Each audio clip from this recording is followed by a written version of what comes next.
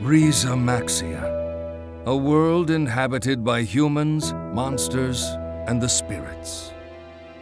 The men and women of Rieze Maxia can create mana, the root of all energy. The spirits, who thrive on this energy, allow humans to cast spells in exchange for the mana they provide. This is the principle of the spirit arts, and it is the very foundation of the Rieze Maxian civilization. There are two kingdoms in Rieze Maxia, Rashugal and Auj Oule. It is a rich, bountiful land, and the spirits preserve balance despite the fact these two nations are ever at war. In the city of Fennmont in Rashugal, there lived a boy named Jude, a medical student, and the mysterious girl Milla, who went by the name Maxwell, the Lord of Spirits. The youths uncovered evidence of human experimentation and of a mana-absorbing weapon known as the Lance of Kresnik. Shortly after, the two were branded as dangerous criminals.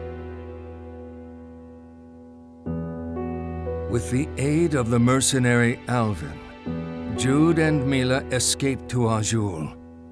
But in the flight, Milla lost the power of the four great spirits, stolen away by the Lance of Kresnik.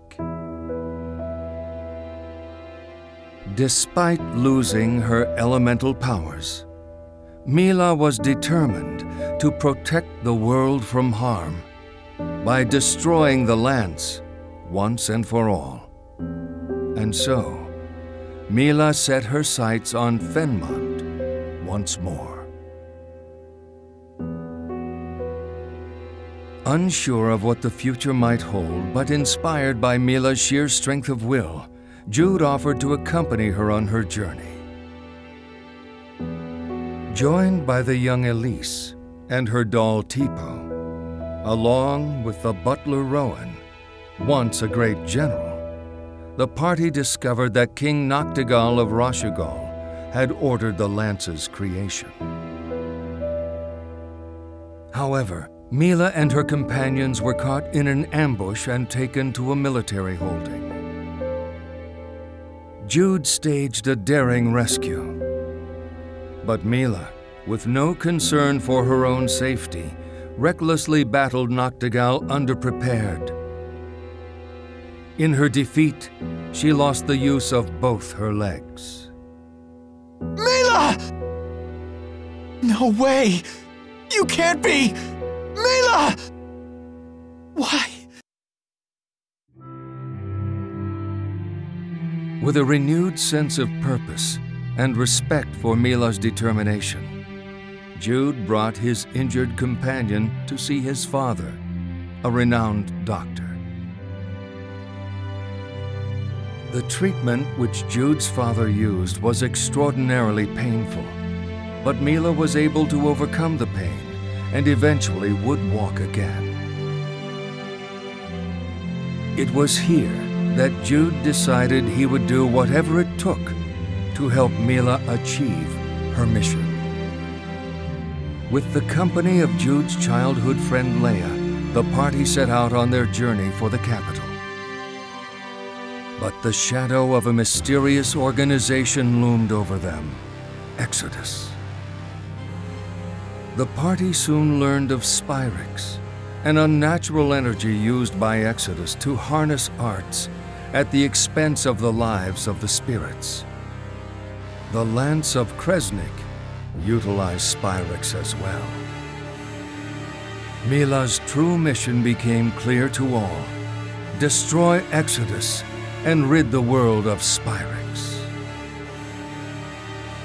The party found themselves impeded by Auj Oule's King Gaius and Wingul the swordsman, Presa the art user, Agria the spy, and Jiao the giant, his elite Chimeriad soldiers.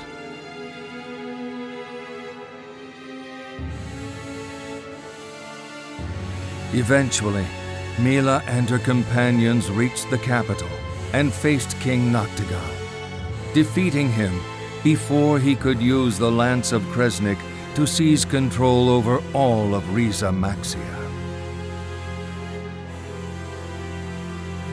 But by then they were too late. The lance had already been carried out of the kingdom.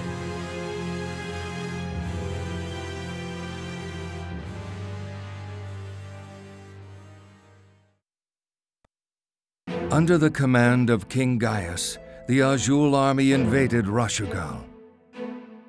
War had officially broken out. Charging headlong into the fray, Milla and her companions were forced to battle the Chimeriad and even King Gaius himself, all of whom were also after the lance. The confrontation with Gaius proved nearly deadly for the party.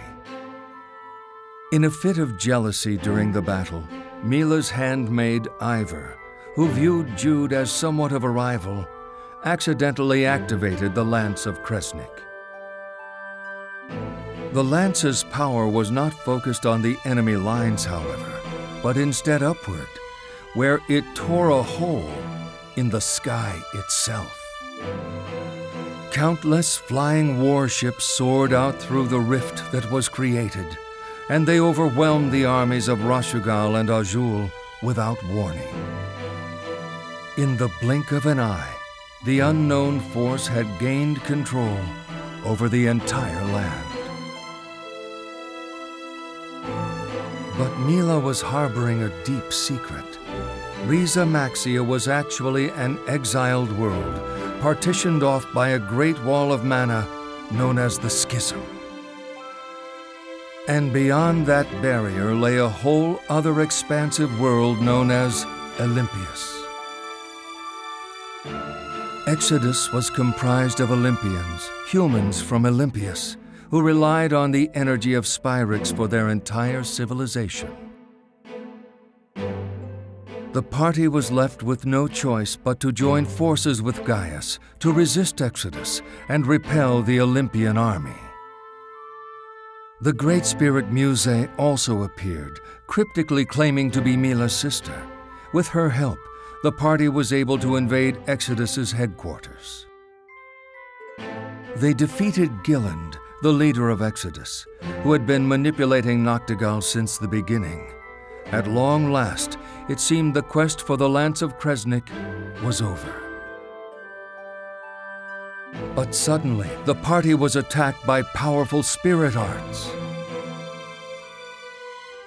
Seeing no other alternative, Milla made a desperate move to save the lives of her companions.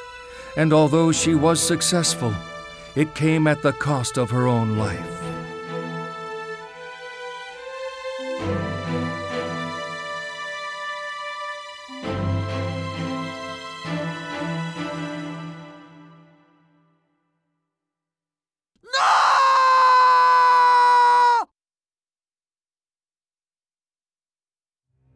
It was the Great Spirit Muse who unleashed the spirit arts that claimed Milla's life, all under orders from the Great Spirit Maxwell. Muse then revealed to the party that their former companion Milla was actually a human created by Maxwell, and he was only using her as a decoy to keep Exodus off his trail. Jude, still overcome with grief over Milla's death, refused to accept this. He only came to his senses after a selfless sacrifice on the part of Leia during a heated battle with Alvin.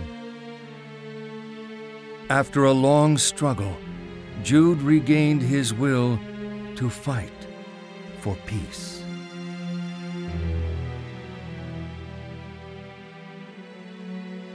And so the companions traveled to the temporal crossroads, which connects the human realm with the spirit realm, where they met Milla's creator, the Great Spirit, Maxwell. During their encounter, Maxwell told Jude about his true intentions and that Milla was merely a pawn in his scheme. Meanwhile, the spirit of the slain Milla wandered aimlessly through the spirit realm, with no memory of her past life. Yet somehow her soul was beckoned to the temporal crossroads. The same drive that had once guided her in life still called to her even in death. During the fierce battle between her former companions and the Great Spirit Maxwell, Milla appeared. She descended before Jude and her former companions in her new shape, that of a spirit. Milla had been awakened by the strong conviction emanating from Jude and the others.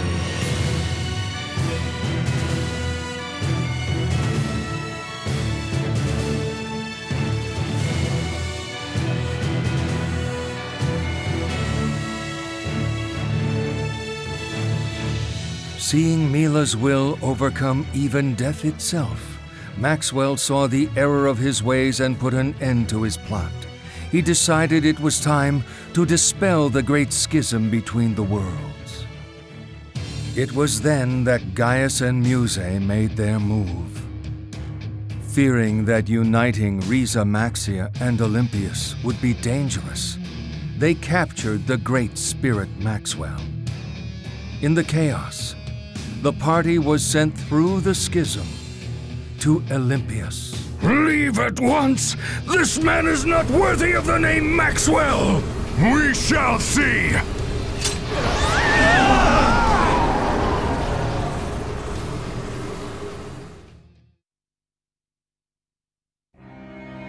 Jude and his companions got to see firsthand how the Elympions lived. Due to the world's reliance on Spyrix, both the spirits and the very land itself were dying. Elympios would soon be in ruins. However, the Elympions lacked the ability to produce mana or to use the spirit arts. Although Spyrix was destroying their very world, it was essential to their civilization. Jude knew that the only way to save both worlds was to eliminate Spyrix, and so he began his search for a solution. In his travels, he discovered a force known as Spyrite, an energy which combined the capabilities of Spyrix and Rieze Maxian technology. If Spyrite could be harnessed, the Elympions would be able to use spirit arts without harming the spirits or the balance of their world.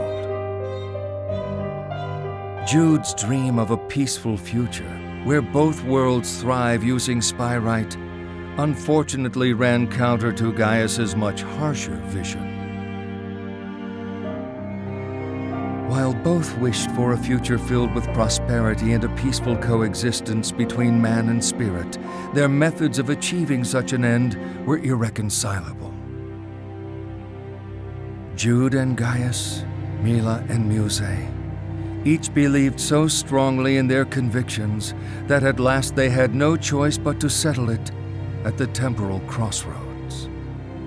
After a climactic battle, Jude and Milla forced Gaius to lay down his sword and admit defeat. The fate of the two worlds had officially been decided. Free of his bindings, Maxwell dispelled the schism which had previously kept the worlds of Elympios and Rieze Maxia divided. And as the schism disappeared, so too did Maxwell leaving Milla to step up as his successor and carry the burden of protector of the world of man and the world of spirits. However, this meant that Milla had no choice but to part ways with Jude and her companions, for she was now forced to dwell in the spirit realm. The two parted ways with a smile, secure in the knowledge that neither had any doubt or regret. Their journeys were far from over, and they were prepared for what was to come. Milla and Jude vowed to continue fighting for a future where humans and spirits might live together in peace and in harmony.